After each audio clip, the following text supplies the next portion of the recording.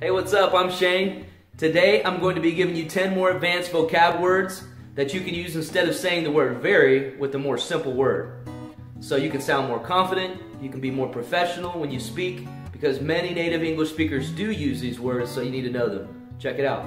Instead of saying very funny, you can say hilarious, hilarious. Instead of saying very beautiful, you can say stunning, gorgeous, stunning, gorgeous. Instead of saying very loud, you can say deafening, deafening, which comes from the root word of deaf, that someone can't hear. Instead of saying very full, you can say stuffed, stuffed. Instead of saying very new, you can say brand new, brand new. Instead of saying very sure, you can say certain, positive, certain, positive. Instead of saying very important, you can say crucial, crucial. Instead of saying very confused, you can say bewildered, bewildered. Instead of saying very fat, you can say obese, obese. Instead of saying very good, you can say outstanding, outstanding. Okay, now I'm going to use these words in a sentence so you can hear um, how the word sounds. Uh, you can see, hear how the emphasis is placed. Uh, you can hear my accent. So check it out. Hilarious. The prank that the little boy did was hilarious.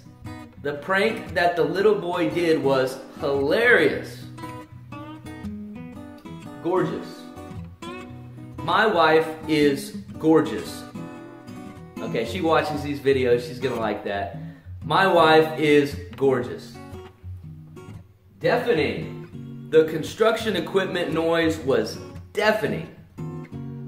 The construction equipment noise was deafening. Stuffed. After Thanksgiving this year, I was stuffed.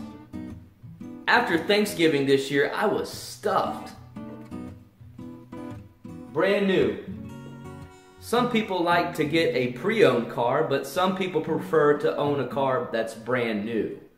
Some people prefer to get a car that's pre-owned, but some people like to get a car that is brand new. Certain. Are you certain that you locked the door before we left? Are you certain that we locked the door before we left? Crucial. It is crucial that you have oil in your car for it to run. It is crucial that you have oil in your car for it to run. Bewildered.